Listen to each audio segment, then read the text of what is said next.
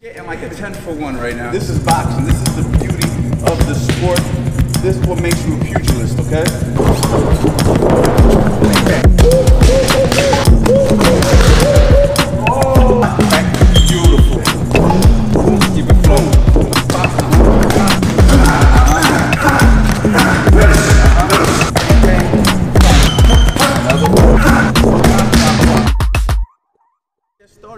Southpaws. I didn't forget you guys on this, all right? I want you to understand all my instructionals.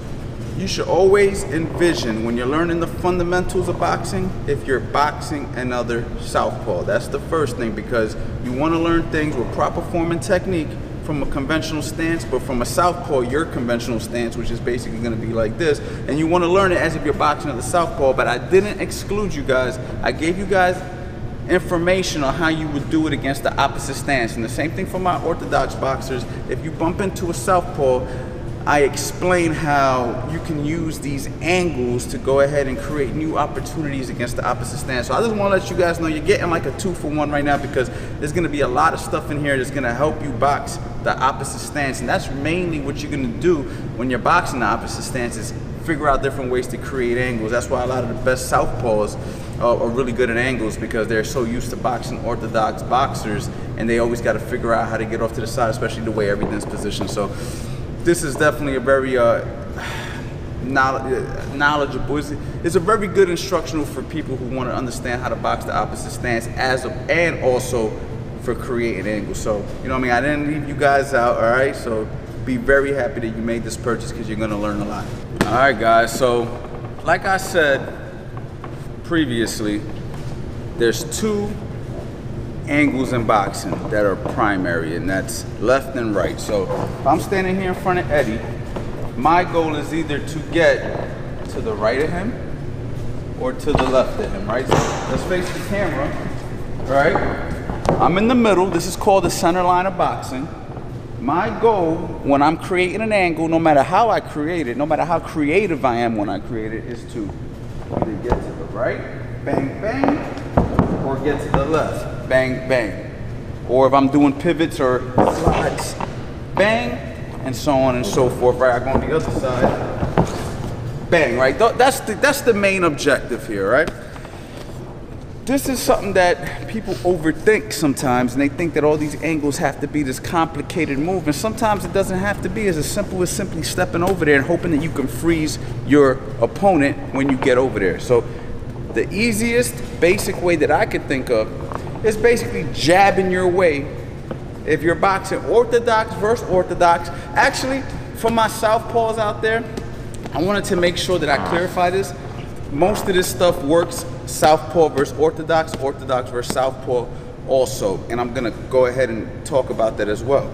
But if you are a righty versus a righty, okay, all he's gonna do is jab his way to the left. Right? Now, whether he did a single jab, all right, do one jab. Now look, we're only gonna do one before I go ahead and I'll, just, I'll explain why I like to double and triple. But if he does one, he got the angle. All right, simple. Now watch this. He does one, bop. He already cleared the angle. Look, he's already in position for that right hand. Bang, right? So let's just say throw one, bop, and then you just throw your right hand. Bang. He can land his right hand. I can't land mine.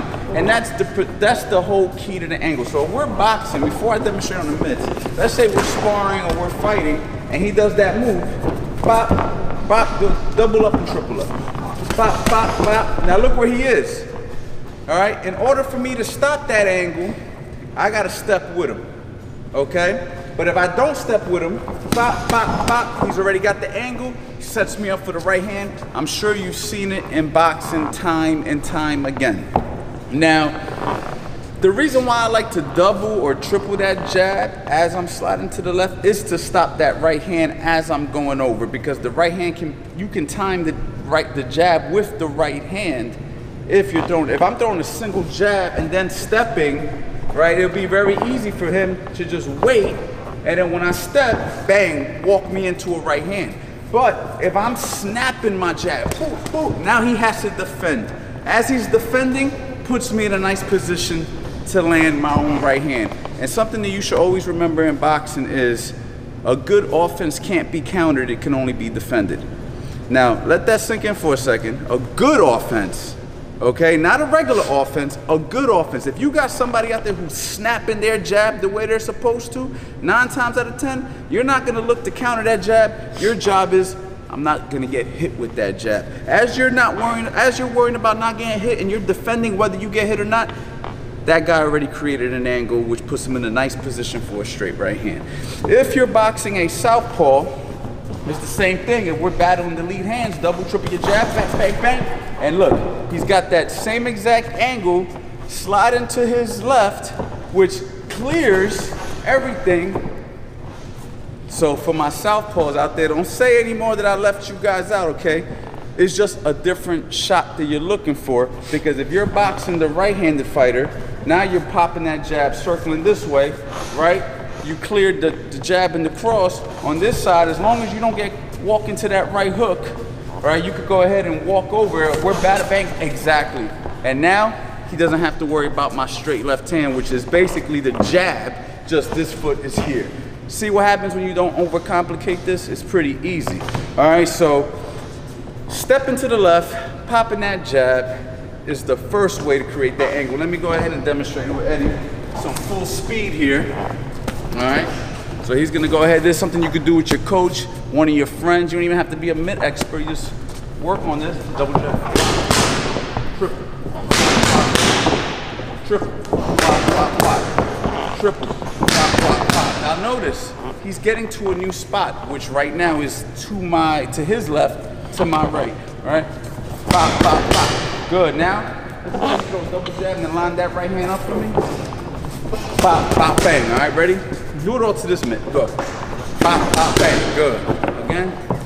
Pop, pop, bang. Good. I'll do it here. Go. Pop, pop, bang. I got nothing. He got something. Now that we're on that move with that step, let me show you what else you could do to create that same exact angle, just a different movement, and this is off the head movement. I throw a jab, he's gonna slip and step at the same time and then cut the angle, so he'll go. And look at that. Bang. Let's do it one more time. Uh, face me this way.